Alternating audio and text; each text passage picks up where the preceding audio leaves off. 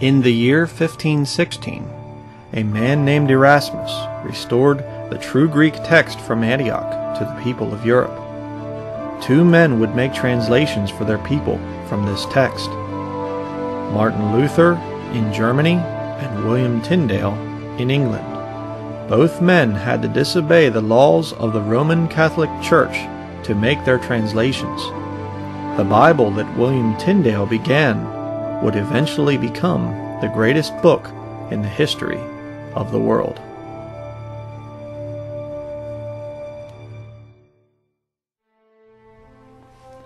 One evening, William Tyndale was having a discussion with a Catholic bishop on the authority of Scripture. The bishop said that he respected the word of the Pope more than the Bible. To this, William Tyndale replied, I defy the Pope and all his laws. If God spare my life ere many years, I will cause a boy that driveth the plough shall know more of the Scripture than thou dost. Tyndale's desire was to make the Bible available in English instead of the Latin Bibles used by the Catholic clergy to keep the people in bondage. In 1534 he translated the New Testament into English from the Greek text of Erasmus. In 1536, William Tyndale was executed by the Roman Catholic Church. His crime? Giving the people of England the Word of God in their own language. A tyrannical church like Rome could not have their authority undermined by an English Bible. William Tyndale had to be killed if the Pope wanted to remain in control of the people of England. William Tyndale's dying words were, Lord, open the King of England's eyes. He was then strangled and his body set on fire.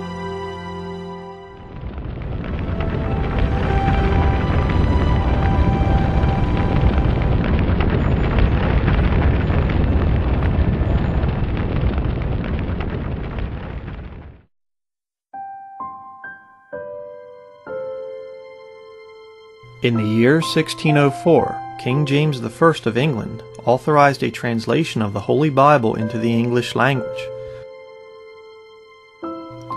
Fifty-four of Europe's greatest scholars were gathered together for this monumental task, which would take seven years to complete. Men like Lancelot Andrewes, who could speak 15 languages and wrote his own private devotional books in Greek. Henry Savile was Greek and mathematical tutor to Queen Elizabeth. John Overall was an expert on the early church fathers.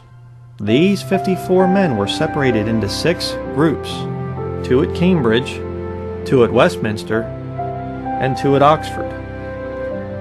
The translators would use the Greek text of Stephanus, which was an updated copy of the Erasmus text. This Greek text is known today as the Textus Receptus. Over the next seven years, these men would translate and design the greatest book of all time. Each book of the Bible had to pass 14 tests before it was accepted as Scripture. The authorized version was completed in 1611. This great Bible is commonly known today as the King James Version. William Tyndale's dying prayer to God had been answered. English speaking people all over the world finally had the Word of God in their own language.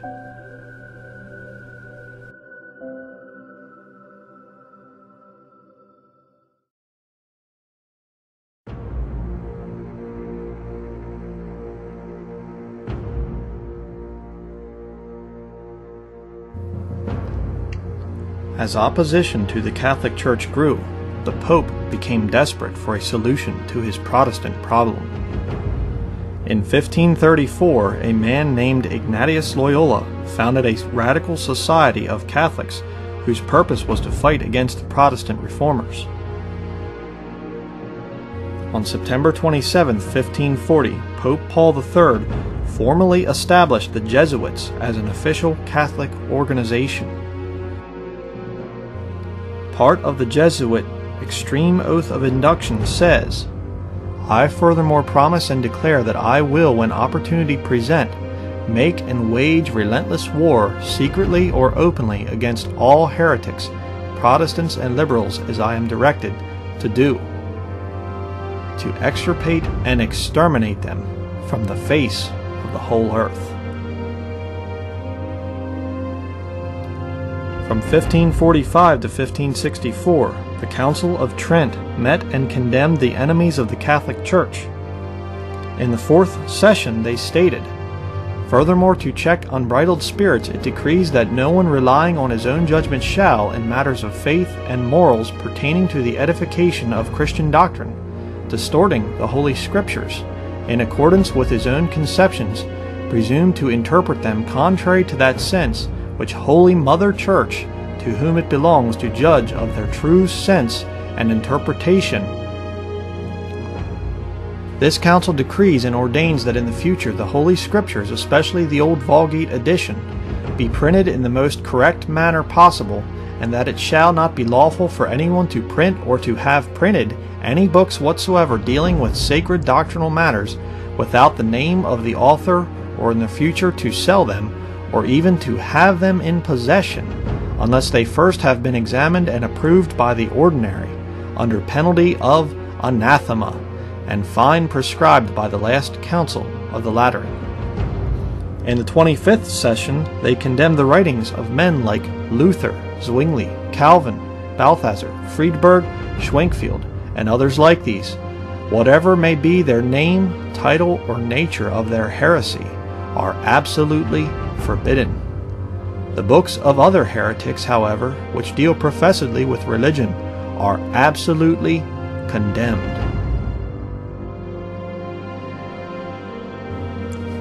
Finally, all the faithful are commanded not to presume to read or possess any books contrary to the prescriptions of these rules or the prohibition of this list. And if anyone should read or possess books by heretics or writings by any other author condemned and prohibited by reason of heresy or suspicion of false teaching, he incurs immediately the sentence of excommunication. He, on the other hand, who reads or possesses books prohibited under another name shall, besides incurring the guilt of mortal sin, be severely punished according to the judgment of the bishops. In 1605, the Jesuits tried to assassinate King James and the members of Parliament. On the morning of November the 5th, Guy Fawkes was discovered guarding 36 barrels of gunpowder, which had been hidden under the floor where King James would be standing in a matter of hours. This plan is known today as the Gunpowder Plot. The conspirators were captured and executed. God protected King James and the translators of the authorized version. But the Jesuits had another plan. If the people of England wanted an English Bible, then the Jesuits would write one for them. The Rheims New Testament was released in 1582 and the Douay Old Testament was finished in 1610, exactly one year before the authorized version of 1611.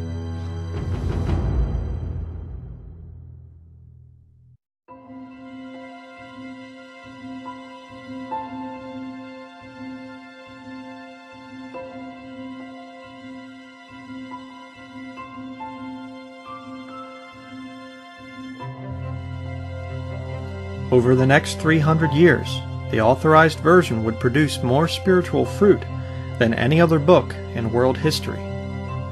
This amazing Bible produced heroes of the faith like Roger Williams, John Wesley, founder of the Methodist Church, his brother Charles, famous hymn writer, George Whitefield, the famous evangelist, Jonathan Edwards, David Brainerd,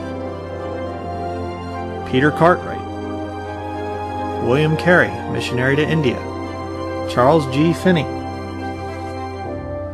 Isaac Watts, famous hymn writer, Hudson Taylor, missionary to China, George Mueller, the founder of the Salvation Army, William Booth, Fanny Crosby, the blind hymn writer, the fiery Methodist evangelist, Sam Jones, Gypsy Smith,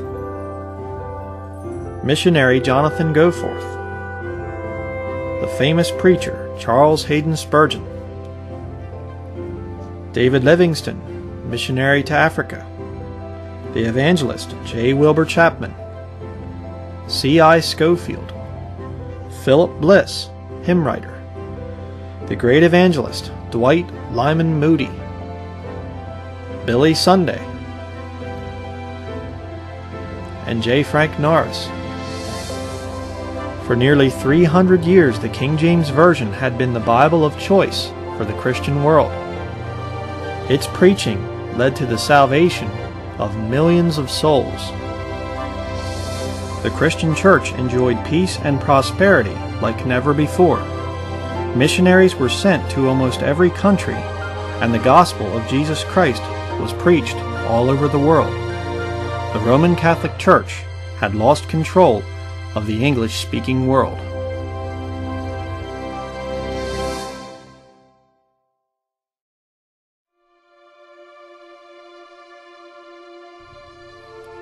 In 1871, the Church of England decided that the King James Version should be revised. Two unsaved scholars would see to it that a completely new Bible would be created to replace the King James Version. Who were these two men? Fenton John Anthony Hort and Brooke Foss Westcott. These two men would use two of the Roman Catholic Church's Greek manuscripts to design their new version. The first is known as Codex Vaticanus. The second is called Codex Sinaiticus and was found in the trash at a Catholic monastery by Constantine von Tischendorf. Their corrupt revised version was released in 1881. But what about the beliefs of Westcott and Hort? In 1896, a collection of Hort's letters were published by his son. On page 76 we read, The pure Romish view seems to me nearer and more likely to lead to the truth than the evangelical. On page 148, Hort writes about the ordinary confused evangelical notions. On page 400, Hort admits that the positive doctrines even of the evangelicals seem to me perverted rather than untrue. There are, I fear, still more serious differences between us on the subject of authority, and especially the authority of the Bible. On page 445, Hort says, I have a sort of craving that our text should be cast upon the world before we deal with matters likely to brand us with suspicion I mean a text issued by men already known for what will undoubtedly be treated as dangerous heresy will have great difficulties in finding its way to regions which it might otherwise hope to reach, and whence it would not be easily banished by subsequent alarms. Hort shows his hatred for the true Greek text on page 211, where he states, I had no idea till the last few weeks of the importance of texts having read so little Greek Testament and dragged on with the villainous Textus Receptus. He also says, Think of that vile Textus Receptus leaning entirely on late manuscripts. It is a blessing there are such early ones. In a letter to Westcott, Hort writes on page 430, Certainly nothing can be more unscriptural than the modern limiting of Christ bearing our sins and sufferings to his death. But indeed, that is only one aspect of an almost universal heresy. On page 120, Hort declares, The fact is, I do not see how God's justice can be satisfied without every man suffering in his own person the full penalty for his sins Hort clearly did not believe that the death of Jesus Christ on the cross was enough to pay for his sins. But what about Westcott? What did he believe? In 1903, Westcott's son Arthur published his father's letters in a book. On pages 228 through 229, Westcott told Hort what he thought of the Textus Receptus.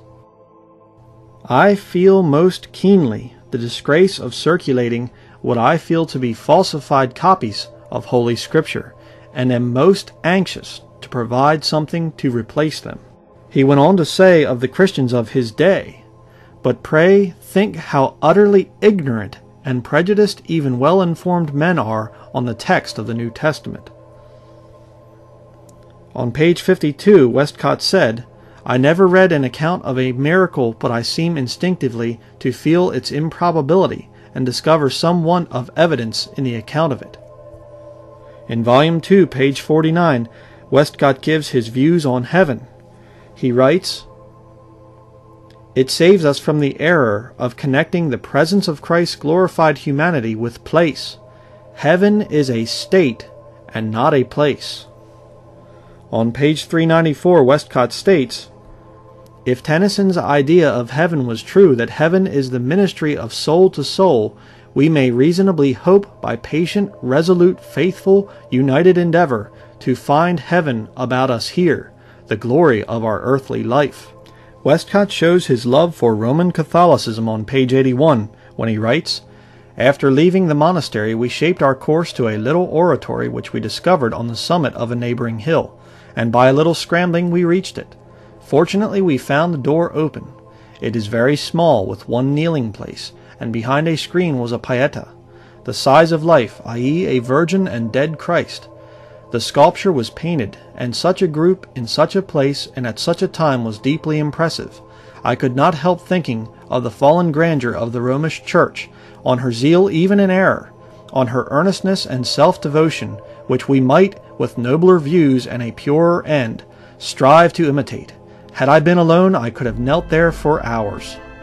It truly is sad to think that an intelligent man like Westcott could not bring himself to believe in miracles or heaven.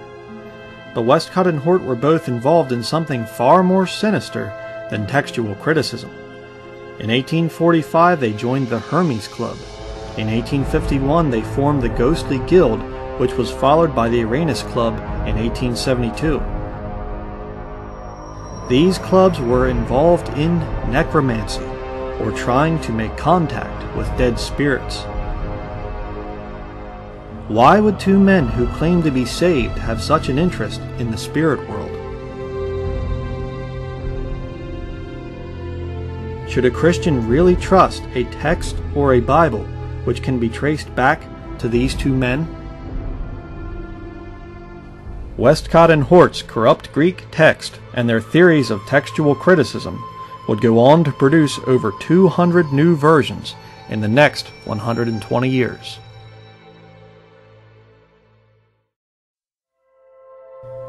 With millions of King James Bibles in print, it would be impossible to destroy all of them. So if you can't destroy the King James Bible, then why not replace it with hundreds of corrupted counterfeits? Since 1881, an average of one new Bible has been released every year. Is the English language really changing this much? Or is there a darker agenda behind these new versions? Who would stand to profit the most if the King James Version passed out of common use? On October the 11th of 1962, the first session of the Second Vatican Council met in St. Peter's Basilica in Rome. Over the next few years, they plotted out the future of the Roman Catholic Church. In November of 1965, the dogmatic constitution on divine revelation was written. In chapter 6 and on page 112 we read, But since the Word of God must be readily available at all times, the Church, with motherly concern, sees to it that suitable and correct translations are made into various languages, especially from the original texts of the sacred books. If, when the opportunity presents itself and the authorities of the Church agree, these translations are made jointly with churches separated from us, they can then be used by all Christians.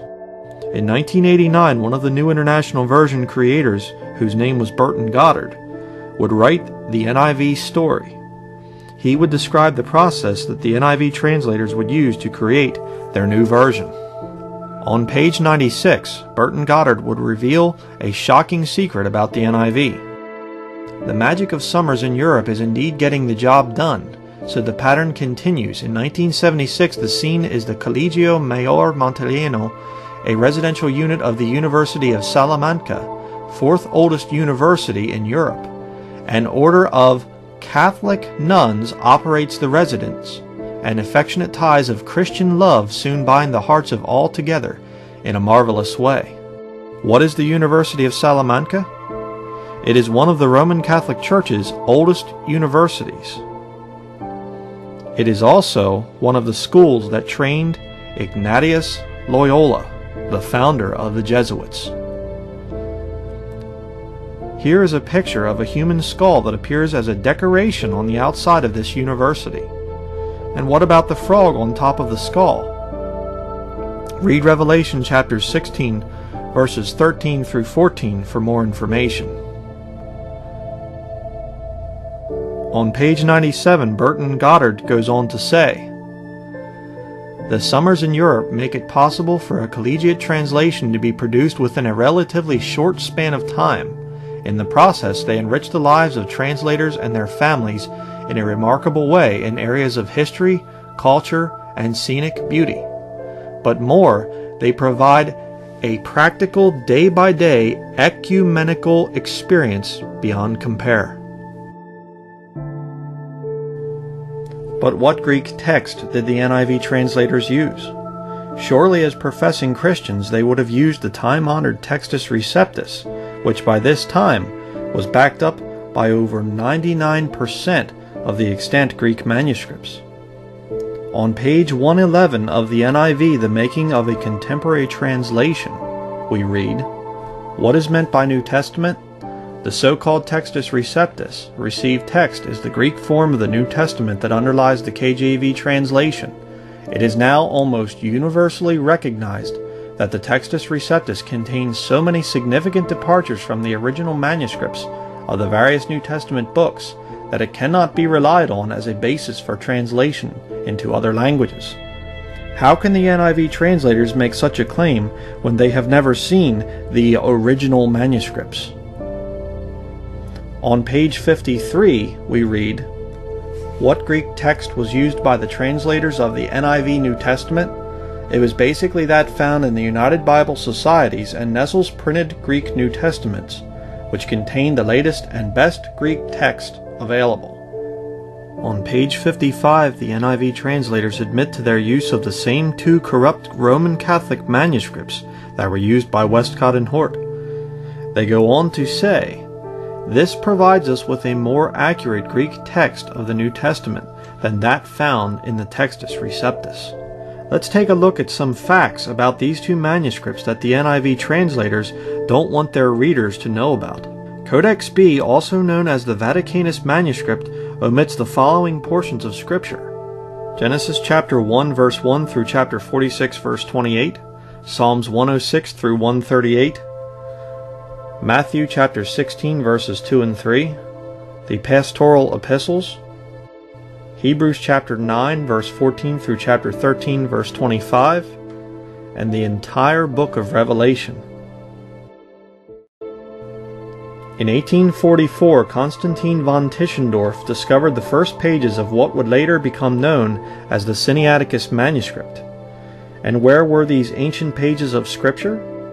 He found them in a pile of waste paper used to start fires at the monastery. But was there a reason that this ancient codex was destined for the fireplace? A few years after the discovery of the Sinaiticus manuscript, a man named Dr. Prebendary Scrivener was able to examine the document. This is what he wrote.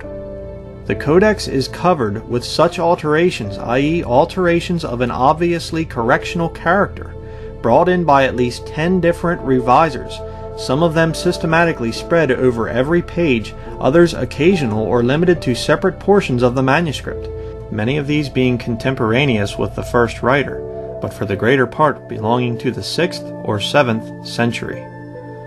Another man named Dean John William Burgon was also able to examine the Sinaiticus manuscript. This is what he wrote. On many occasions 10, 20, 30, 40 words are dropped through very carelessness Letters and words, even whole sentences, are frequently written twice over or begun and immediately cancelled. while that gross blunder whereby a clause is omitted because it happens to end in the same words as the clause preceding occurs no less than 115 times in the New Testament. A man named Hermann Hoskier would compare the Sinaiticus and Vaticanus manuscripts and would reveal that these two codices actually contradicted each other over 3,000 times in the Gospels alone. He would write, I have tabulated the major part of these differences between Aleph and B in the Gospels and given the supporting authorities on each side. They amount to Matthew 656, Mark 567, Luke 791, John 1022 for a total of 3036.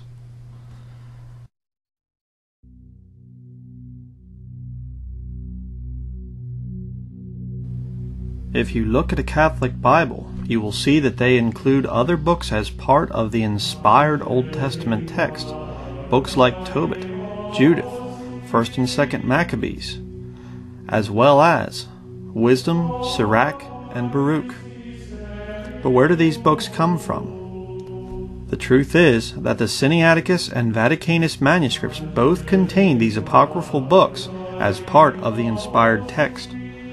If versions like the New American Standard Bible and the NIV claim to be the most accurate translations of Vaticanus and Sinaiticus, then why don't they include the apocryphal books? A few years ago, the New Revised Standard Version did release an edition that contained the Apocrypha. This, of course, shouldn't be much of a surprise, seeing as how the New Revised Standard Version also has many Catholic editions available.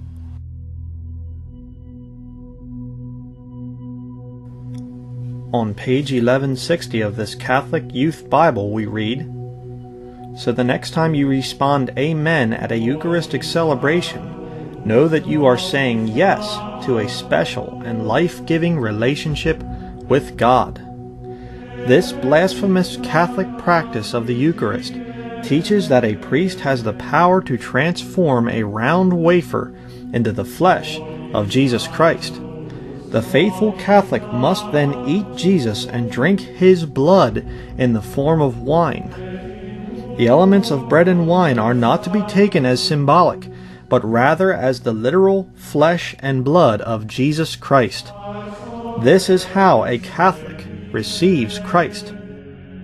This mystical process of changing ordinary bread and wine into Jesus Christ is called transubstantiation. For many centuries, thousands of faithful Christian martyrs were executed by the Roman Catholic Church because they rejected the pagan sacrifice of the Eucharist. But today we have supposedly Protestant Bibles like the New Revised Standard Version teaching this Catholic heresy that resulted in thousands of Christians being burned alive.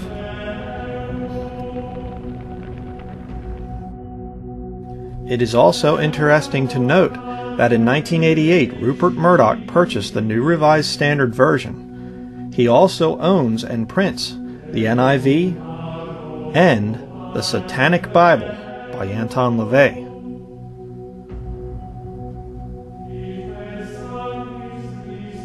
Just ten years later, the Pope knighted Rupert Murdoch into the Order of St. Gregory the Great.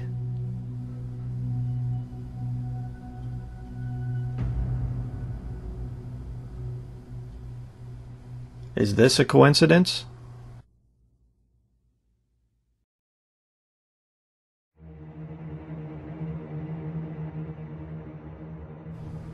We spoke earlier of the fact that the NIV translators rejected the Textus Receptus and used the Nestle's text instead.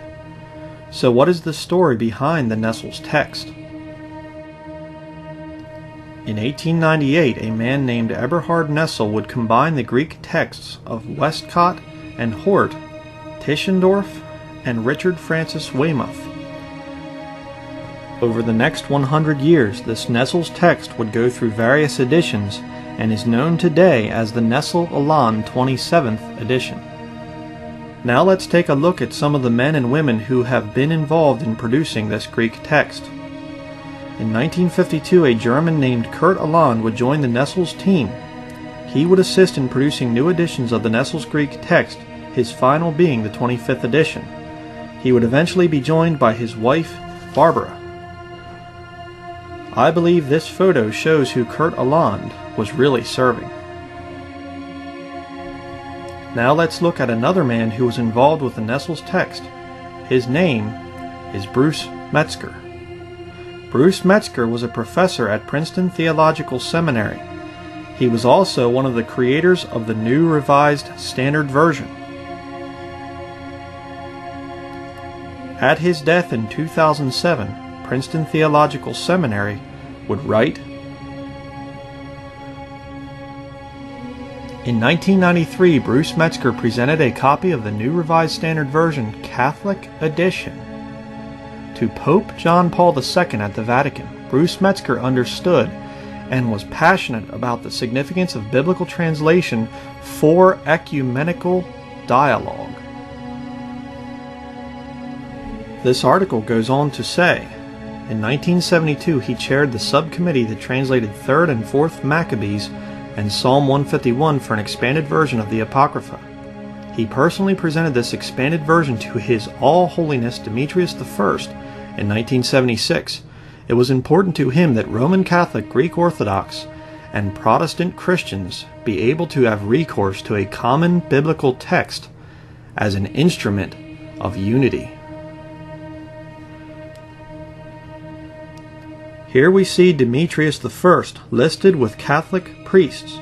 It is no secret that the Orthodox Church has been working with Roman Catholicism for a very long time. In this article, Archbishop Demetrius is said to be teaching at a Roman Catholic Jesuit university. Here we see the current Greek Orthodox Patriarch Bartholomew I meeting with Nancy Pelosi. In this article, we can see what he is working to accomplish. His All Holiness has worked tirelessly for reconciliation among Christian churches and acquired an international reputation for raising environmental awareness throughout the world.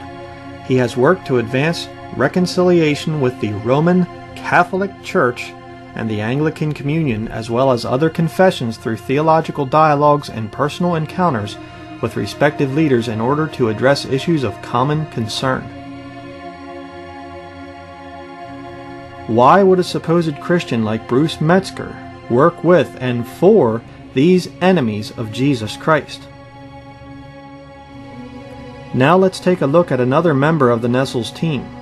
His name is Carlo Maria Martini, and he is a Jesuit priest.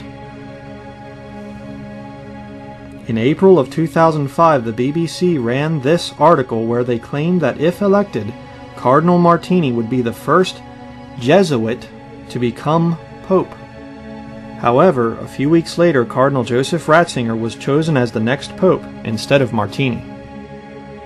On page 45 of the Nestle's 27th edition, we read the text shared by these two editions was adopted internationally by Bible societies and following an agreement between the Vatican and the United Bible Societies, it has served as the basis for new translations and for revisions made under their supervision.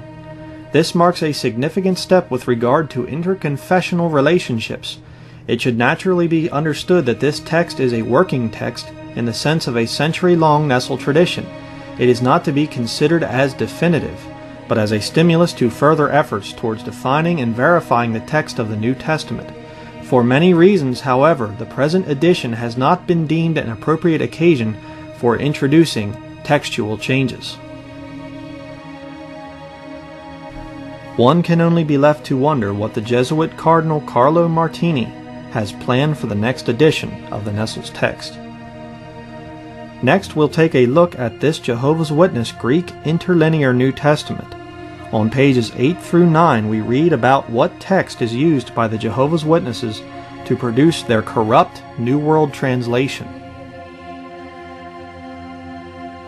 The Greek text that we have used as the basis for the New World Translation accepted Westcott and Hort Text 1881 by reason of its acknowledged excellence, but we have also taken into consideration other texts, including those prepared by D. Eberhard Nestle the Spanish Jesuit scholar Jose Maria Bover, and another Jesuit scholar, A. Merk, the UBS text of 1975 and the Nestle Aland text of 1979 were consulted to update the critical apparatus of this edition.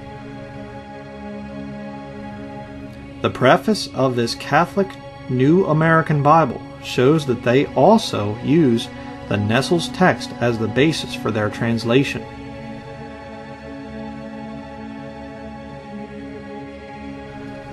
It is important for you, the viewer, to realize that if you have a Bible version produced since 1881, then it can be traced back to this corrupt Nestle's Greek text.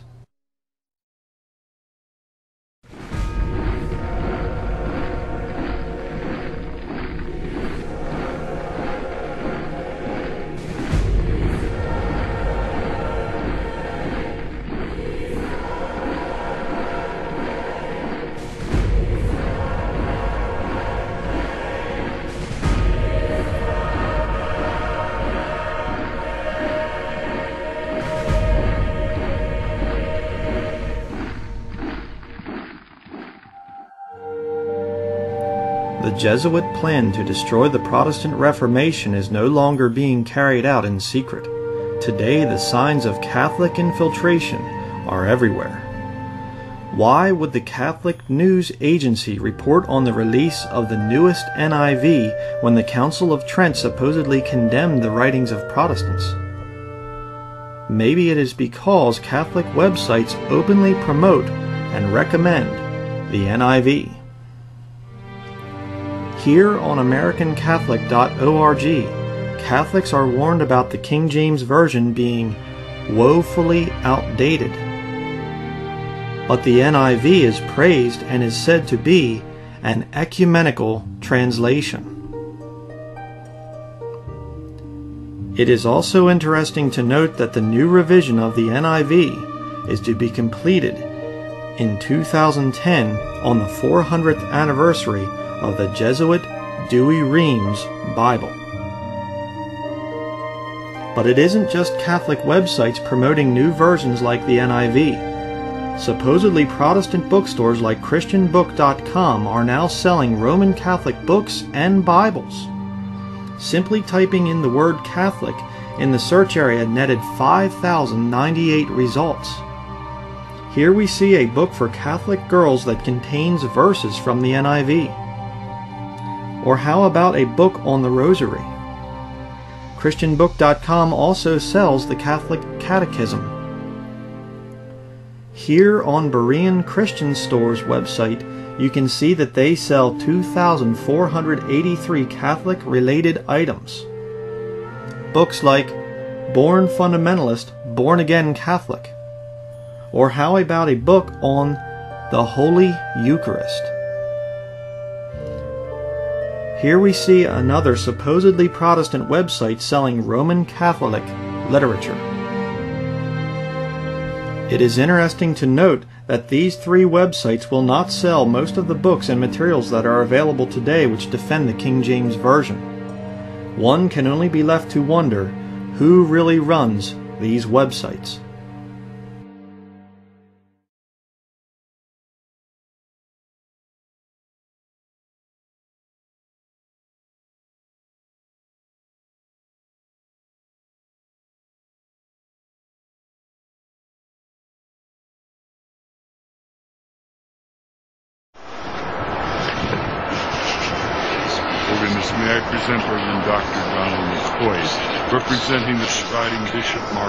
Hanson of the Evangelical Lutheran Church in America.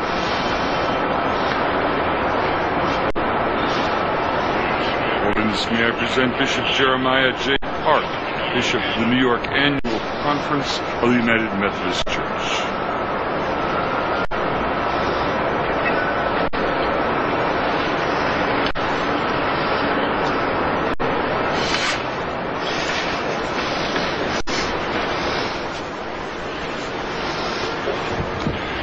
Holiness, may I present Reverend Wesley Granberg Michaelson, the General Secretary of the Reformed Church in America.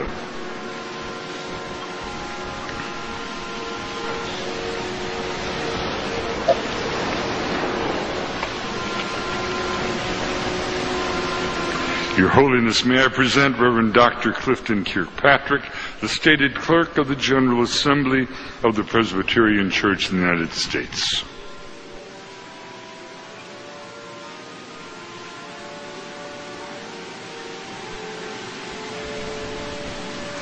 Your Holiness, may I present Reverend Dr. William J. Shaw, President of the National Baptist Convention, United States.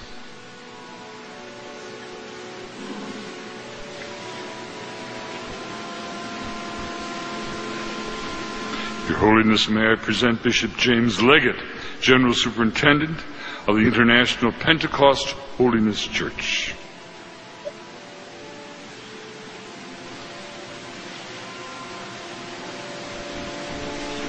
Your Holiness, may I present Dr. Leith Anderson, President of the National Association of Evangelicals.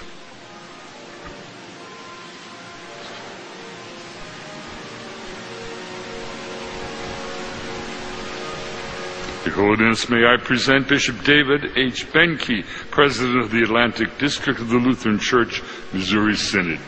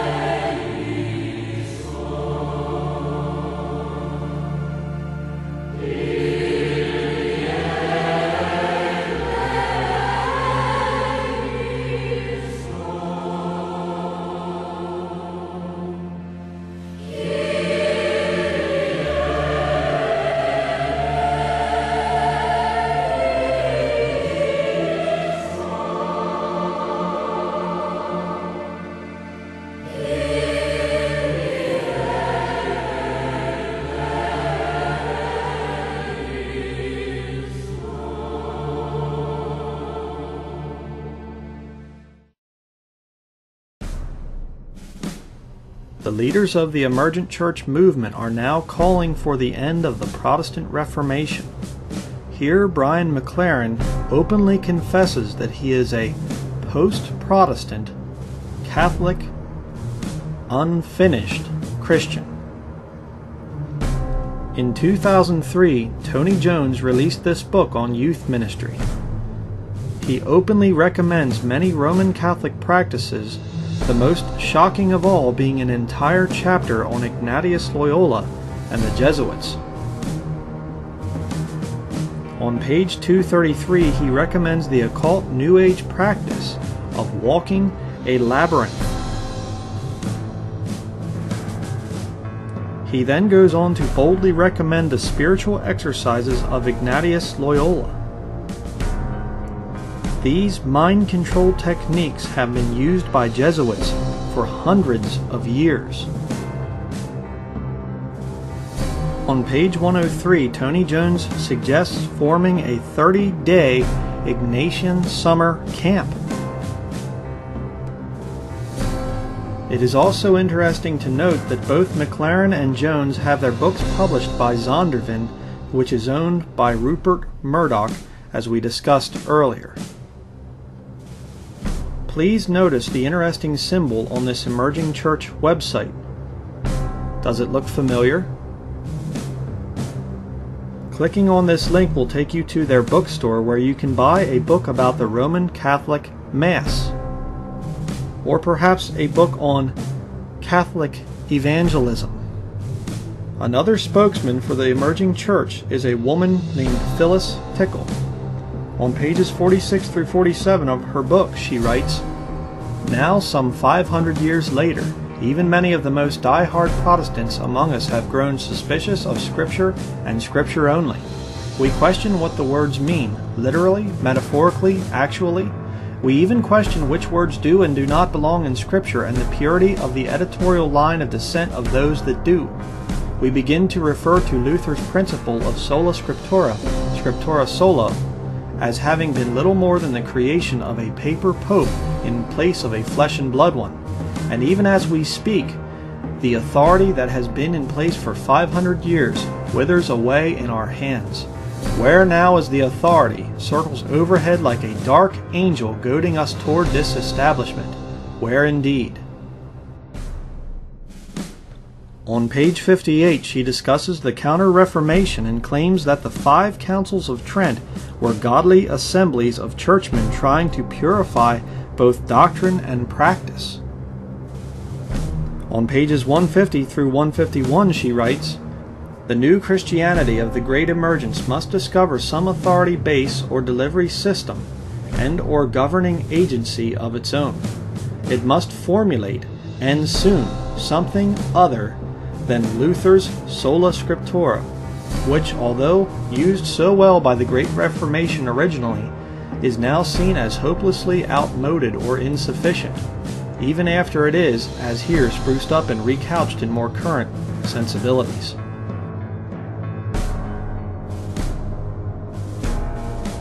Now that the King James Bible has been removed from the hands of the majority of professing Christians, Satan's false prophets are able to deceive them into thinking that the Roman Catholic Church is no longer the enemy of Bible believing Christianity.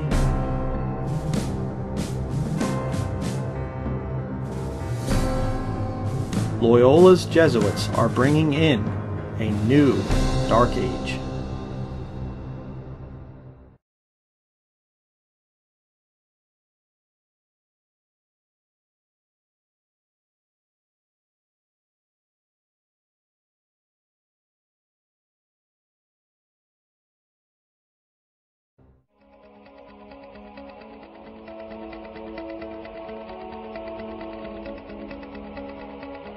500 years, the basis of authority has been sola scriptura scriptura sola, and it's not anymore.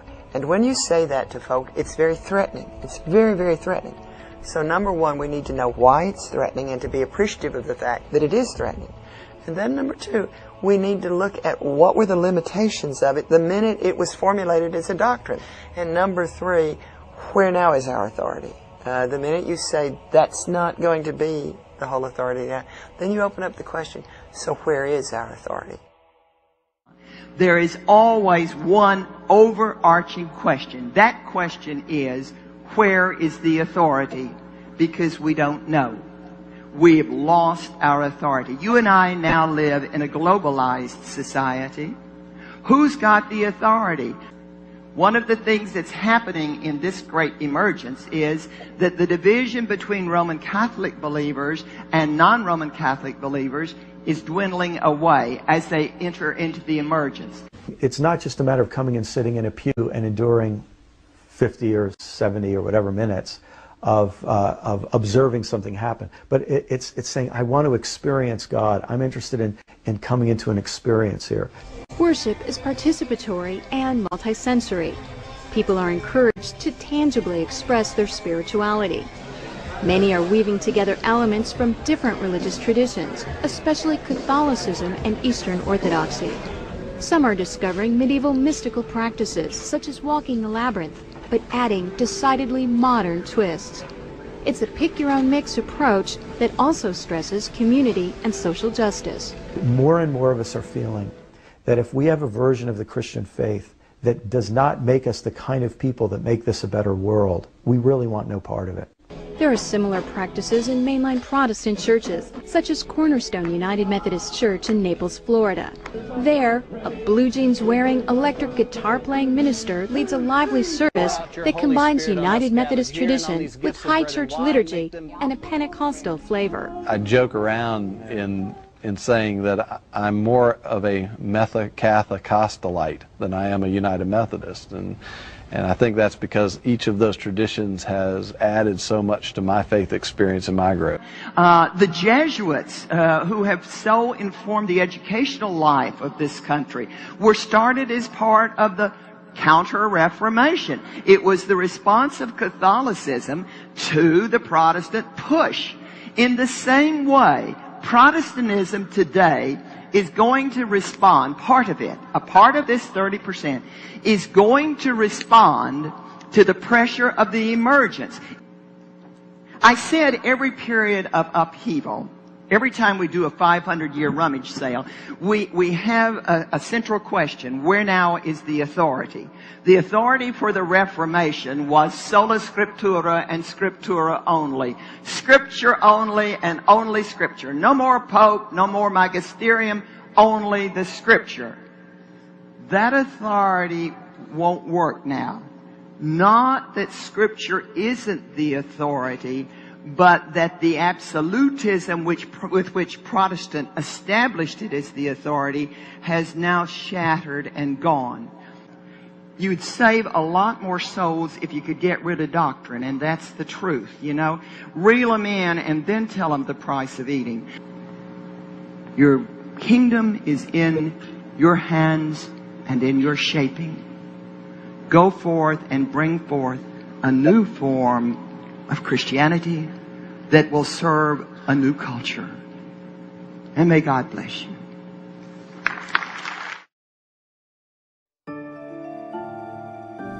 After watching this video, you might be asking yourself why the Roman Catholic Church wants so badly to get rid of the King James Version. The answer is simple. The King James Version is and always has been the greatest threat to Roman Catholicism. Why? Because it is the only Bible in common use today which can be traced back to the true Christians in Antioch. The King James Version has also produced more spiritual fruit than all other Bibles combined. And the King James Version's Textus Receptus is backed up by over 95% of all ancient Greek manuscripts. But there is another even greater reason for Catholicism's hatred of the King James Version. Revelation 17 describes an evil religious city which is guilty of shedding the blood of the saints and martyrs of Jesus Christ. There can be only one city on this earth that matches the description of Revelation 17. Revelation 18 goes on to describe the coming destruction of this wicked religious city. For this cause, the Roman Catholic Church has fought relentlessly to replace the King James Version.